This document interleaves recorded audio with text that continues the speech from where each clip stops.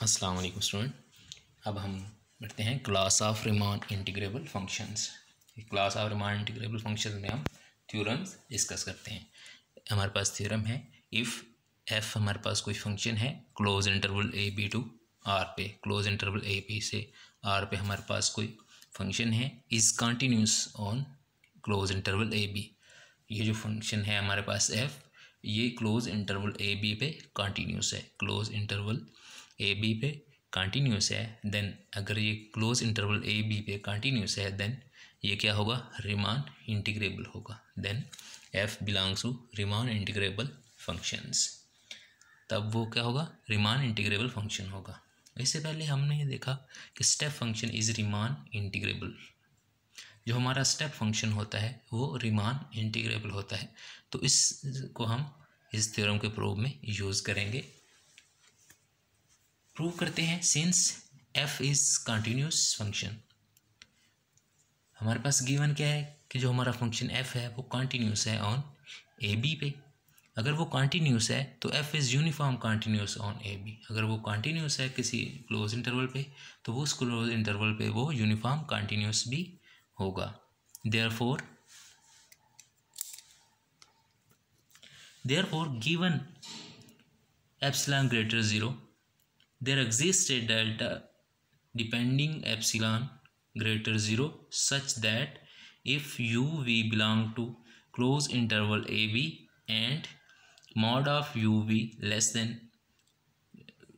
delta then we have mod of uh, f of u minus f of v less than epsilon over b minus a तो यहाँ से क्या हमने क्या यहाँ तक हमने कंटिन्यूस की डेफिनेशन लिखी। अगर हमारा फ़ंक्शन कंटिन्यूस है तो यू और वी के डिफरेंस डेल्टा से लेस होगा और f of u minus f of v का जो डिफरेंस है, वो एप्सलान से डेल्टा होगा। एप्सलान से लेसर होगा।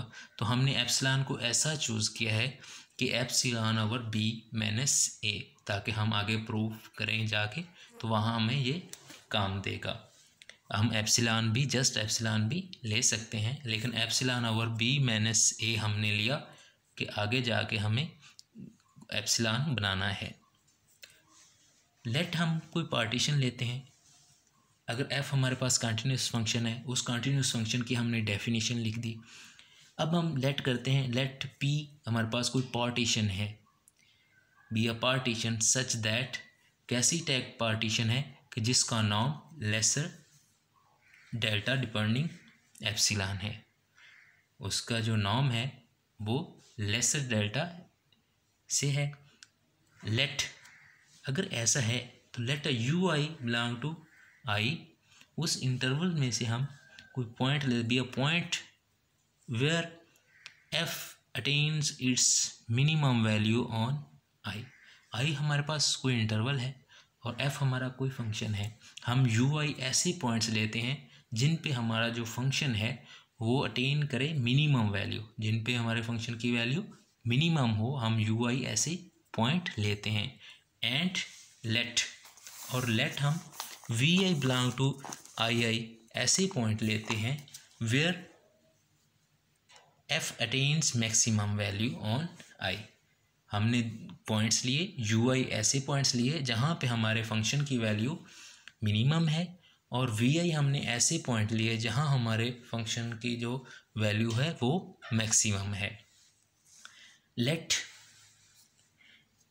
हम एक alpha epsilon be a step function defined by alpha x f of u i for x जो है वो एक्स आई माइनस वन और एक्स आई क्लोज इंटरवल से बिलोंग करता है। और आई की वैल्यू क्या होगी one to n minus one तो जो अल्फ़ा एप्सिलॉन है, ये हमारा कोई स्टेप फ़ंक्शन है। हमारा स्टेप फ़ंक्शन है। और ये स्टेप फ़ंक्शन कैसा है? Alpha epsilon of x is equal to f of u n for x belong to x n minus one comma x n closed interval इस क्लोज इंटरवल में से हमारा एक्स बिलोंग करते हैं और जो एफ़ ऑफ़ यू एन हमारा step function है। लेट वो be defined similarly using the points v i इसी तरह हम वी आई को यूज़ करते हैं और instead of u i u i की जगह हम वी आई को लेते हैं और इस तरह हम एक फ़ंक्शन और डिफाइन करते हैं। जिसको हम कहते हैं ओमेगा एप्सिलॉन। हम कोई ओमेगा एप्सिलॉन फ़ंक्शन डिफाइन करते हैं स्टेप फ़ंक्शन तो हमारे पास दो स्टेप फ़ंक्शन है, ओमेगा एप्सिलॉन एंड दूसरा alpha epsilon and omega epsilon. ये दोनों स्टेप फ़ंक्शन है। अगर ये दोनों स्टेप फ़ंक्शन है तो दोनों रिमान इंटीग्रेबल हैं। हमने पीछे एक रिज़ल्ट लिखा कि स्टेप फ़ंक्शन जो होता है वो हमारा रिमान इंटीग्रेबल होता है। तो यहाँ हमने दो स्टेप फ़ंक्शन लिए, एक अल्फ़ा एप्सिलान एक ओमेगा एप्सिलान तो दोनों ही स्टेप फ़ंक्शन हैं और दोनों रिमान इंटीग्रेबल हैं। और अल्फ़ा एप्सिलान जो है वो हमारा ऐसा फ़ंक्शन है जो मिनिमम वैल्यू पे है और ओमेगा एप्सिलान जो है वो मैक्सिमम वैल्यू पे है। तो जो हमारा एफ़ ऑफ़ एक्स फ़ंक्शन होगा, वो इन दोनों के दरमियान में होगा। वो कैसा होगा? Omega epsilon alpha epsilon lesser equal to f of x lesser equal to omega epsilon of x for all x belong to a b closed interval तो ये जो हमारा स्टेप फ़ंक्शन अल्फ़ा एप्सिलान है, ये लेसर इक्वल है f of x से, और जो हमारा फ़ंक्शन ओमेगा एप्सिलान है, वो ग्रेटर इक्वल है एफ़ ऑफ़ एक्स से. इट इज़ क्लियर दैट क्या है कि स्क्वीज हमने थ्योरम पढ़ा। उसमें क्या था कि अगर ऐसा हो जाए, ये दोनों फ़ंक्शन रिमान इंटीग्रेबल हैं और इसके दरमियान वाला फ़ंक्शन भी रिमान इंटीग्रेबल है तो इस इनक्वालिटी को होल्ड करे, ये जो integral a to b difference of omega epsilon minus alpha epsilon lesser epsilon हो जाए तो हम कहते हैं जो हमारा फ़ंक्शन एफ़ है वो रिमान इंटीग्रेबल है। तो हमें इट इज़ क्लियर दैट कि ये जो इसका डिफरेंस है, वो ग्रेटर इक्वल वो है ज़ीरो से ग्रेटर इक्वल है। अब हमें पता है कि जो ये है ओमेगा एप्सिलान ये क्या होगा? Summation i one to n f of v i into x i minus x i minus one और माइनस एल्फ़ा जो एप्सिलान है, वो होगा minus i one to n, f of u i into x i minus x i minus one. अब यहाँ से हम x i minus x i minus one को कॉमन लेते हैं तो हमारे पास क्या हो जाएगा? ये summation f of v i minus f of u i हो जाएगा। अब इसको हमने वाजे करके लिख दिया इधर। यहाँ पे सही क्लियर नज़र नहीं आ रहा था। तो क्या हो जाएगा? Summation one to n summation i one to n f of v i minus f of u i into x i minus x i minus one है। अब f of v i minus f of u i हम पीछे define कर चुके हैं कि वो lesser है। Epsilon over b minus a वो लेसर है epsilon over b minus a अगर उसका मॉड लेसर है इससे तो ये वैल्यू भी लेसर होगी इससे। तो क्या हो जाएगा? इसकी जगह हम इसकी वैल्यू लिख देते हैं। ये वैल्यू इससे बड़ी है तो इससे बड़ी है तो ये इनक्वालिटी चेंज हो जाएगी। ये ग्रेटर इक्वल हो जाएगा इससे। तो इसकी जगह हमने, इसकी जो वैल्यू हमने पीछे ली थी कंटिन्यूस की वजह से, ये, इसका मॉड लेसर है इससे तो ये भी लेसर होगा इससे।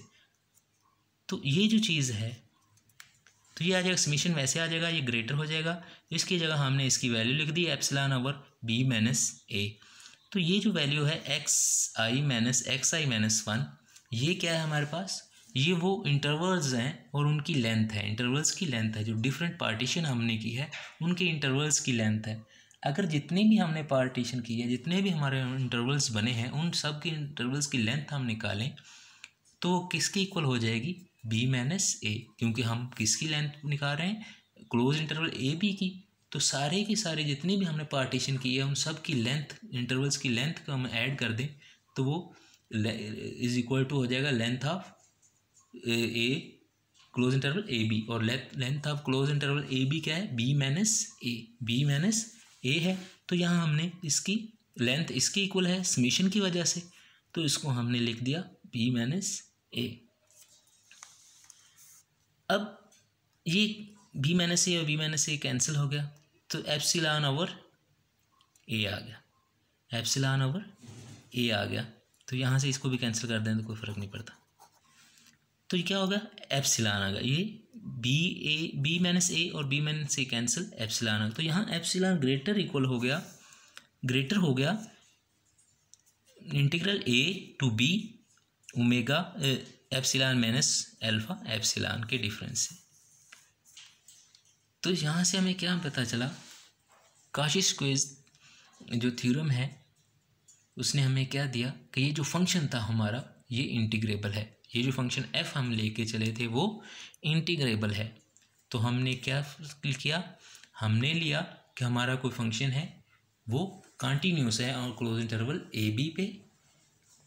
और हमने प्रूव कर दिया कि वो जो हमारा फ़ंक्शन एफ़ है, वो रिमान इंटीग्रेबल है, वो रिमान इंटीग्रेबल है। इसके बाद एक डेफिनेशन है। डेफिनेशन क्या है? If F belong to Riemann integrable functions F कोई हमारा रिमान इंटीग्रेबल फ़ंक्शन है. And if alpha beta belong to close interval A B अगर हम कोई दो नंबर हैं अल्फ़ा और beta close interval A B में से विद कंडीशन क्या होनी चाहिए? उनका आपस में रिलेशन क्या होना चाहिए? अल्फ़ा लेसर होना चाहिए बीटा से. अल्फ़ा लेसर होना चाहिए बीटा से. तो वही डिफाइंड हम डिफाइन कर सकते हैं. Integral alpha to beta F is equal to minus beta integral alpha F of F यानी कि integral alpha beta of function F is is equal to minus integral beta alpha of F कि अगर हम limit A alpha to beta लें integral की और फिर हम उसको चेंज कर दें बीटा टू अल्फ़ा कर दें तो वो नेगेटिव साइन साथ मल्टीप्लाई हो जाएगा। तो नेगेटिव साइन साथ मल्टीप्लाई हो जाएगा। तो यही हमने लिमिट को अपर को हमने लोअर लिमिट बना दिया और लोअर लिमिट को हमने अपर लिमिट बना दिया। तो अगर हम लिमिट को चेंज करें लोअर को अपर कर दें और अपर को लोअर कर दें तो नेगेटिव साइन जो होगा वो मल्टीप्लाई हो जाएगा। एंड अगर हम लिमिट को इक्वल कर दें अपर और लोअर लिमिट इक्वल कर दें अल्फ़ा अल्फ़ा कर दें तो फ़ंक्शन की वैल्यू क्या होगी? ज़ीरो अगर लिमिट इक्वल कर दें अपर लिमिट और लोअर लिमिट बराबर कर दें हम, क्या होगा? Integral alpha to alpha of F function की जो लोअर लिमिट है इंटीग्रल की जो अपर लिमिट है, वो हम सेम कर दें अल्फ़ा अल्फ़ा कर दें या बीटा बीटा कर दें तो उस फ़ंक्शन की जो वैल्यू हो जाएगी वो ज़ीरो हो जाएगी। ओके? थैंक्स।